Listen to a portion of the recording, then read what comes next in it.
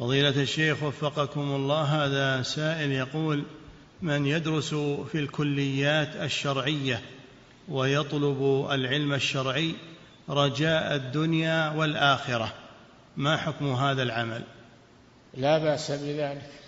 الدنيا تخدم الآخرة ولو لم يأخذ من الدنيا ما استطاع ما استطاع أن يعمل للآخرة. الدنيا عون. على طلب الآخرة. الحمد لله. نعم.